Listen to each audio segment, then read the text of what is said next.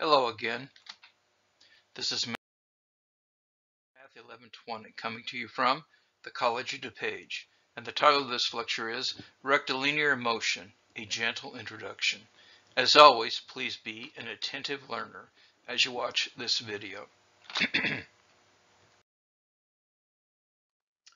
Rectilinear motion means motion along a straight line. And by way of introduction, in uh, 2012, Felix Baumgartner, shown here, set a world record for the highest skydive by jumping out of a balloon basket at a height of more than 38 kilometers, which ends up being 24 miles. At this altitude, air resistance is negligible, and consequently, within about 30 seconds, Baumgartner was traveling faster than the speed of sound.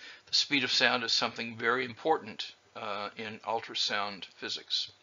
He's the first person to travel that fast outside of an aircraft.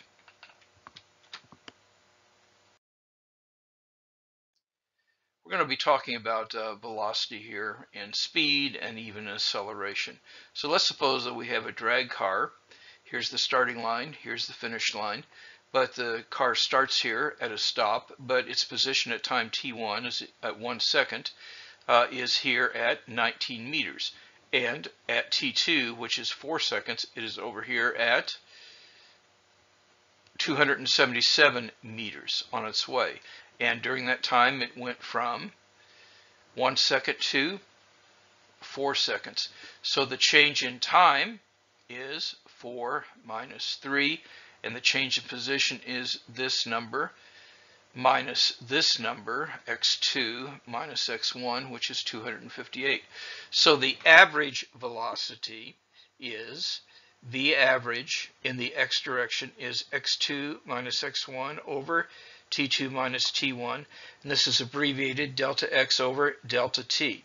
Now, if you multiply both sides by delta t, this says that delta x is equal to uh, the average velocity, I here I call it v bar times delta t. This is really distance equals rate times time. Now the units of velocity are going to be meters per second. And uh, in this case, t2 is greater than t1. And uh, if the motion is in the uh, y direction, we just replace x with y. It still could be in a line. In fact, the guy jumping out of the balloon basket was going straight down.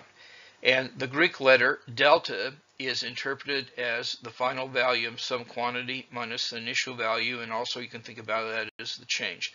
So this is the change in x over the change in t.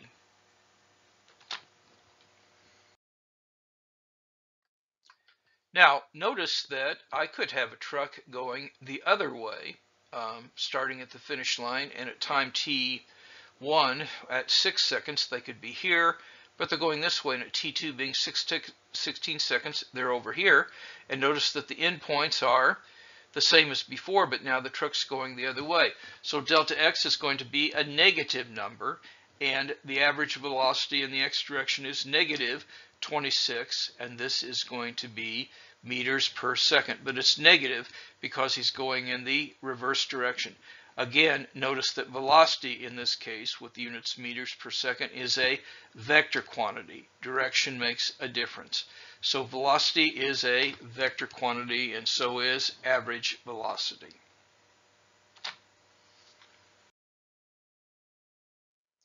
So let's do a problem and we'll apply our definition of um, average velocity to a swimming competition.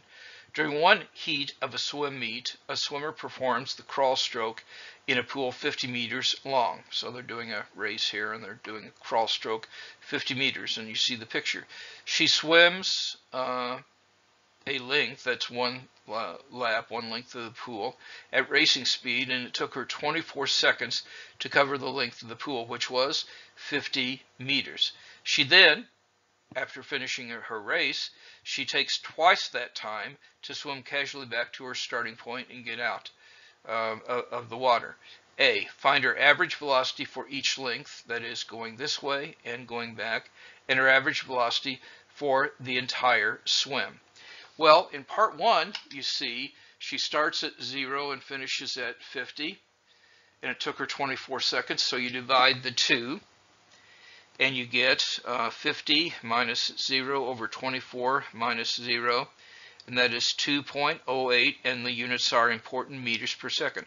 On the way back, it took 48 seconds because we said it was double the time, but it's the same distance. But this is going to be 0 minus 50, and this is going to be 72 seconds minus uh, 24 seconds because that's the way the time has changed. You see she turned right around and swam back.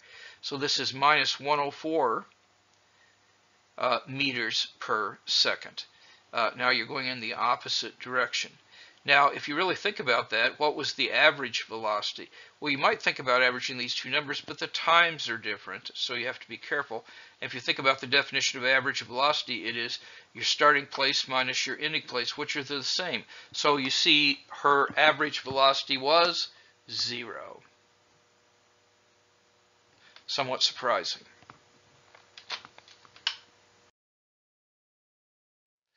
Now, you can think about the average velocity being the slope. And remember, our drag car uh, started slowly but started going faster and faster and faster. And so the average velocity can be thought of this as a slope between these two lines. And if we think about uh, instantaneous velocity, it would be the slope of the tangent line uh, to the curve at any point. So if I were going to Indianapolis and I did 210 miles in three hours, my average speed would be 70 but I would have to be going faster than 70 because there's a lot of stoplights and things in between my starting point and my destination. So the average velocity is different than the instantaneous velocity. Let's look at another example. Let's suppose that we're, we're having a cheetah here, and the cheetah starts at 20 meters per second at time uh, zero, but starts moving faster and faster and faster, and is chasing after this antelope, and the antelope is at 50 meters. So uh, the situation is described uh, uh here, and we're watching this from our vehicle. Uh, and we want to find the displacement the cheetah during the interval between t equal 1 and t equal 2. We want to find the average velocity during that time interval and estimate the instantaneous velocity at time t equal 1 second by taking delta t, the change in t, to be only a tenth of a second. Okay, well here is the equation. We start at 20 meters per second, and the equation, this is t squared times this. Now notice when I take meters per second squared times second squared, I just get meters. So meters and meters gives me meters. So I just plug into this equation. So at time t equal 2, I plug in and I have 40. And so you see the delta x then is going to be the difference between 40 and 25, which is plus 15. And that means um, when we went from 1 to 2, the average is going to be 40 minus 25 over 2 minus 1. 15 over 1 is 15 meters per second. But if I change it just a little bit, uh, what I will see is that the average uh, velocity is uh, going to be 10.5 meters per second. And so what really happens is the smaller and smaller I take uh, this delta t, I get closer and closer to 10, which would have been the instantaneous velocity. To really study instantaneous velocity, you have to study calculus, which is beyond the scope of what we do here, although you study calculus and do physics a lot, and maybe someday you will uh, study that.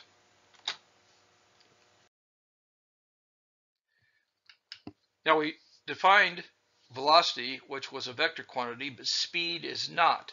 Average speed is the distance traveled by the time taken to travel that distance. An instantaneous speed is the magnitude of the velocity vector at any given moment. It's the magnitude of the velocity vector. We're taking it's that's how long the velocity vector is. That is not having to do with what direction. Now the units are going to be meters per second. So an important takeaway is speed is scalar. I can be going 50 miles per hour in my car, but it makes a difference if I'm going south, in which case from Wheaton I would end up in Joliet, or north, in which case I would end up in Schaumburg. So speed is what we call a scalar. That means it's not a vector.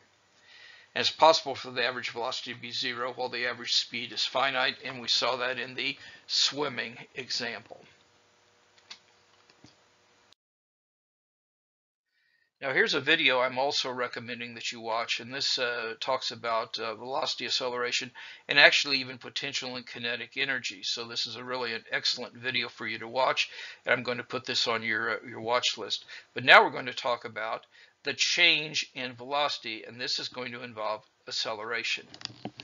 The average acceleration, A sub average, of an object as it moves from a point x1 at time t1 to a point x2 at time t2 is also a vector. You can speed up or you can slow down.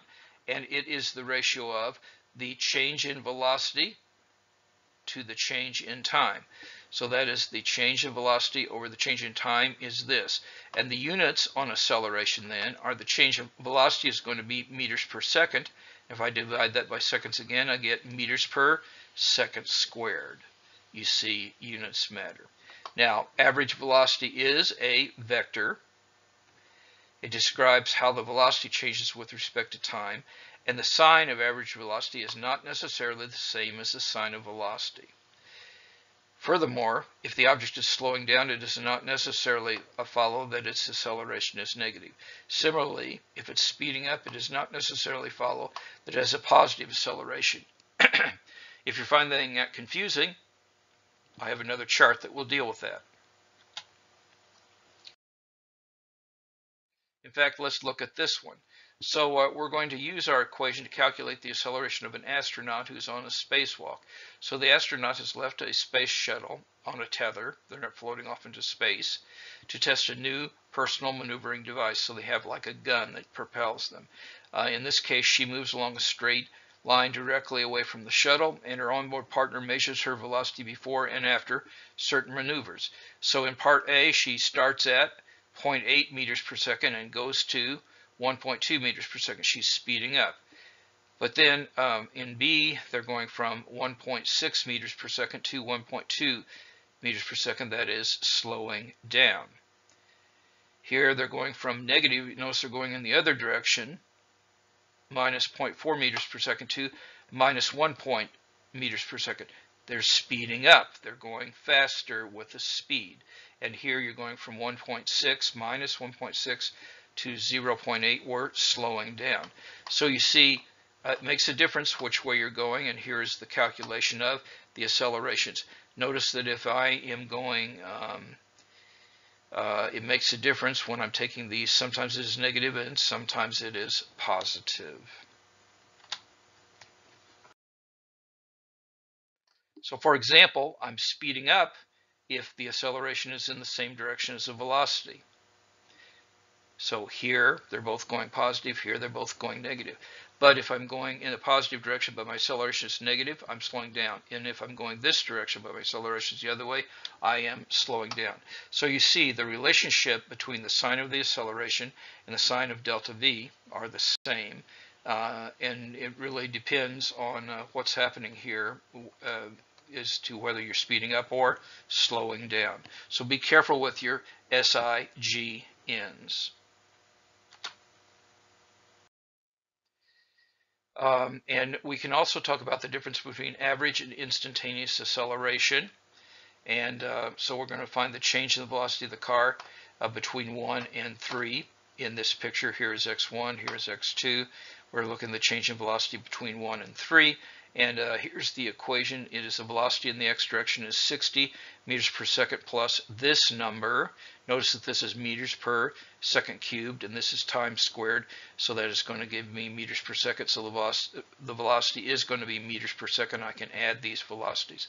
So we're finding the change in velocity between t equal 1 and t equal 3, and we're going to find the average acceleration over that interval, and we're going to estimate the instantaneous acceleration during that time interval by, uh, by taking it slower and slower. So here, uh, what we're going to do is we're going to calculate um, at time uh, t2 equal 3, we have this as the velocity. At time t equal 1, we have this velocity. So the acceleration, there's a difference between this one and this one. And uh, it is uh, also, that's the change in velocity, but then I'm going to divide that by the change in time, which is 2, and so I get a positive 2 meters per second squared. Now if I just take this tiny amount of change of time, I get is closer to 1 meter per second squared. Again, we see that the average acceleration is a slope on the curve, but I can actually be accelerating ever faster along the curve. So the average acceleration gets closer and closer to 1 meter per second squared, and so we could conclude here with calculus that the instantaneous acceleration at t equal 1 second is 1 meter per second squared. Again, the units are meters per second Now, acceleration can be hard on the human body. You notice when you're in a car and you're stopping, uh, it shoves you forward. And the acceleration due to gravity is also often denoted by g. And we will learn later that g is empirically found to be 9.8 meters per second squared. Um, and uh, the human body can withstand accelerations on the order of g without damage because we always have that. But in contrast, jet fighter pilots experience uh, accelerations of 3 g's can really be hurt, and above 5 g's they can lose consciousness and uh, unprotected passengers might experience accelerations as great as 100 G, which really can hurt you. So uh, acceleration can cause damage to the human body.